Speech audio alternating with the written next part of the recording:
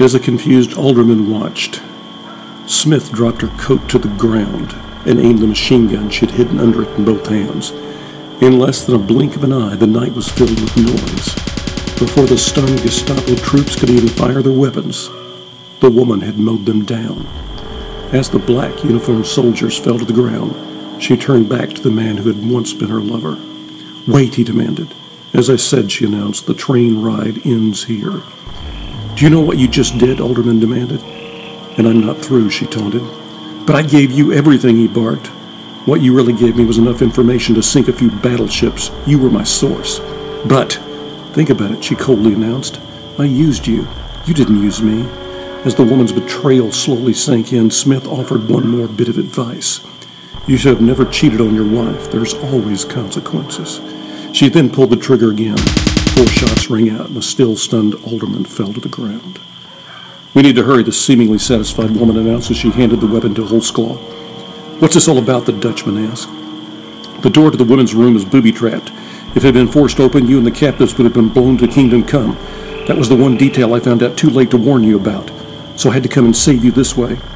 As Holsclaw's men grabbed firearms, Smith looked toward the house. On top of the door where the women are being held, there's a pin. Pull it up and it disconnects the bomb. Did you hear that, Fritz? The Dutchman called out. Yes, sir. We will go get them. As the quartet hurried into the house to rescue the two members of Harold Schneidner's family, Holsclaw turned back to Smith. I guess you'll have to come back with us. I think there's a room for you in London. The woman solemnly nodded. I need a vacation.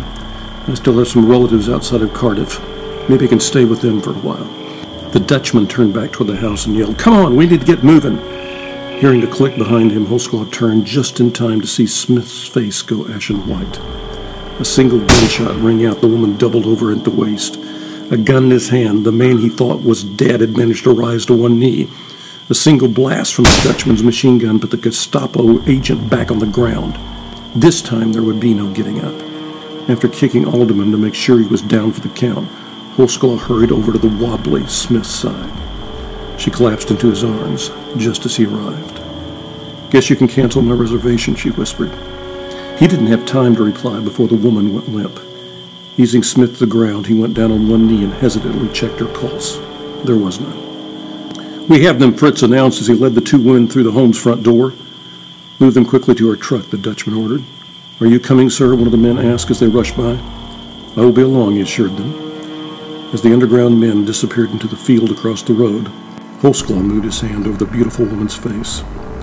Now it was up to God to judge if what the preacher's kid had done for the war effort was too great a sin for her to be admitted to heaven.